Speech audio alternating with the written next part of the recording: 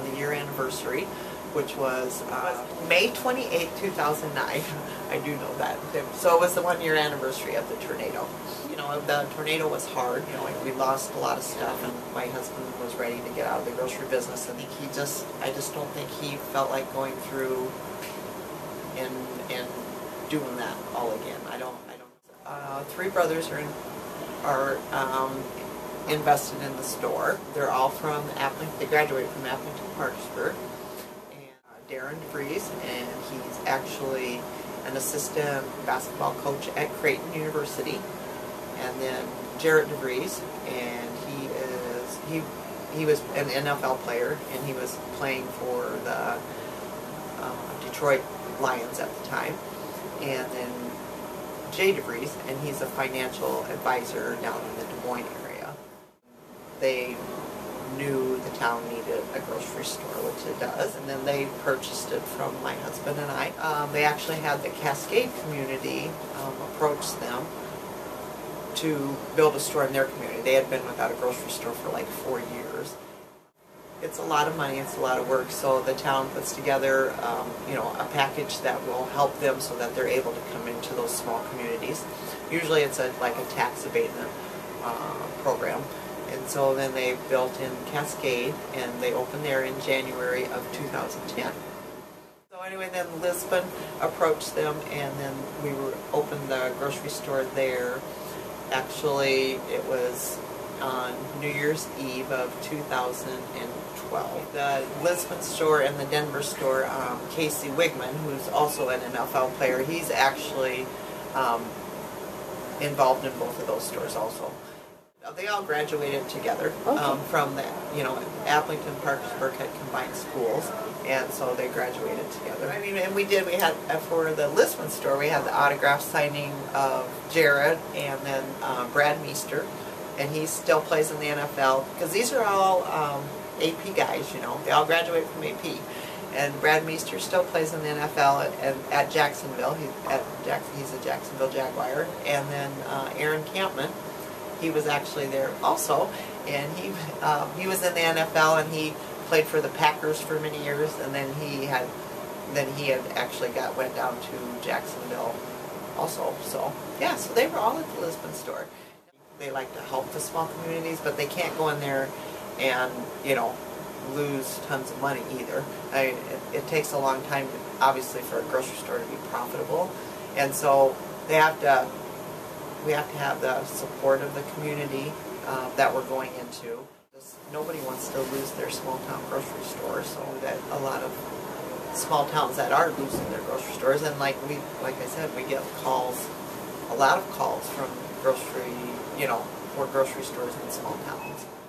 Denver approached them. Denver came down and checked out the Lisbon store, and um, and they approached them and wanted them to come to their community because they were losing their grocery store. And that was we opened in uh, Friday the 13th on in June of this year, 2014. We had Governor Branstad was he made a uh, short stop and they took some pictures and uh, it was nice, yeah. And it was the having a grocery store here, I think grocery stores in every community, like your schools and churches, are, are a draw to bring people to your town. But to get them here, one of our councilman administrator met with Jared, I believe, in Des Moines, and they had several meetings, to come up with an agreement to get them here. And we, well, I think it's one of the staples of the community. You know, it's uh, with our development here in town, it's going to help us hopefully bring more housing in this area of town. Or looking down the road for future growth. The community is really behind it. Very positive comments have come from the public. Um, hopefully, some of our neighboring communities will start using us again. It was very difficult not having a store because I'm on call for ambulance a lot and I wasn't able to run to Waterloo or Waverly to pick up groceries. And if you're in the middle of cooking something and you didn't have a certain item, then you had to start over and make something else. So to me, having a store in town is very important. Convenience of the bank, Denver Bank moved out here for their second outlet. That was Denver Bank helped Brothers get this established. the bank, they were a big push with bringing Brothers Market to the community.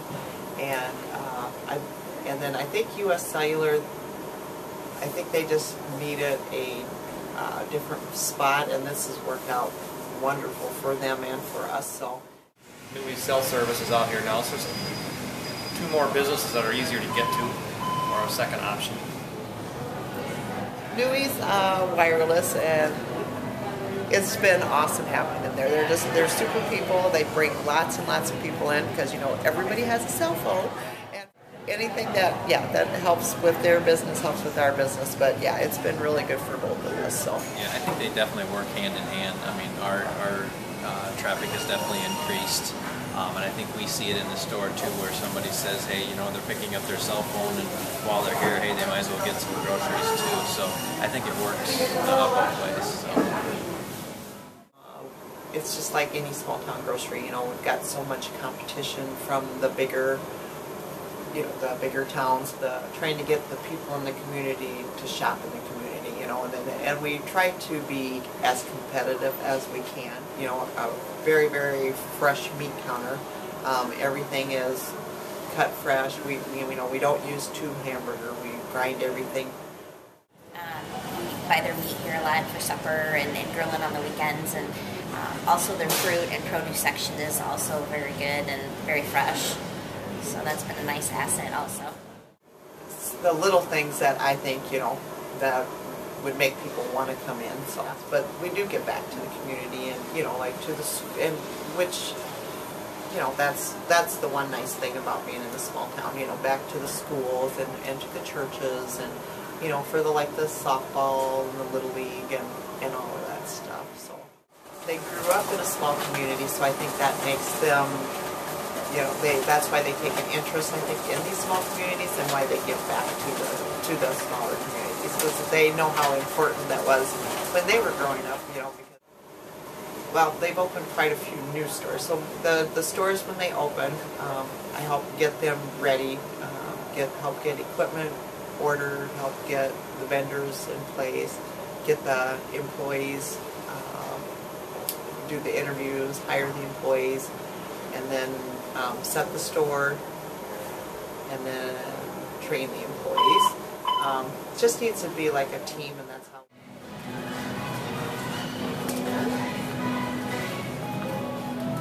Our frozen food section down this aisle. We have a nice large selection in our dairy area. This is Dylan. Was our meat manager to start the store, and then uh, he's training Bruce back in the meat department. Or Bruce is pretty well trained now, and now he's assistant manager on the floor right now. That's our meat manager, Bruce, back there working hard. I don't know if we can get him to smile or not.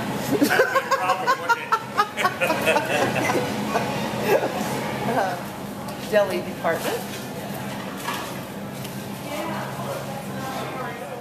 Getting our lunch today. Heather, not too bad about yourself. This is Sherry, and she will smile. and Carrie, she will smile. And Brett, he's our store manager. Sorry.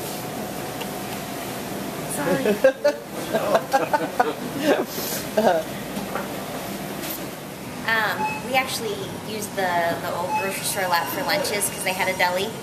And so uh, we needed something quick and easy, and so it was really convenient. And when they closed, we didn't have that option anymore. So it's nice to have the lunch option here for the deli. Hey, you have a good day. Enjoy your chicken. So then, they actually, this is the only store they put in that have the produce doors instead of the open produce cases. Um, they did some research and and they seem to help keep the product stay longer. So, well, it's good to meet you. You take care. this is uh, Denver Bank. This is the branch. We have wonderful people working here. Brenda Eldred. and this is the branch manager over here. And his name is? Hello, Brian Clausen. Yeah, you don't hear it too much in small towns. I know some of the bigger cities do that. Um, and it's a, it's a great way to provide better customer service hours. So a lot of people who commute can't make it here in time for our normal branch hours. So with the uh, extended hours to 7 o'clock, we get a lot more customers that way. So it's a, it's a good way to serve the community that way. Our store managers, uh, they they have a they have a lot to do, and you know, and uh, especially in a small in a small town, in a small grocery store, it seems like because they have to wear, you know, many hats. They have to be able to cover many departments. They have to work, um, you know, the the nights, the weekends, um, and just because they have to work right alongside the employees, you know, because it is a smaller grocery store. The customer is number one here. We definitely do go out of our way. Everybody does do what they can to, to help out. Feel we work well as a team, and yeah. Our customer service is very good. You know, with our carry-out service, and we do like the deliveries if anyone calls in and wants that. that's what we're here for. We're here for solely for the customer. That's another big thing. Like back in the meat department, I mean, people know that they can come up and we can cut them, you know, whatever they want, special. Uh, they're all about local around here, and that's one things. And we try to bring in like local stuff from Steggy's Meat Market, and that we have, you know, going back to the local thing. We try to try give them business too. I think with any new store, you know, it's kind of weeding out what sells and what doesn't, getting to know your customer base, and you know, finding out what people want, what they like, trying to get that in here, trying to just make everyone happy.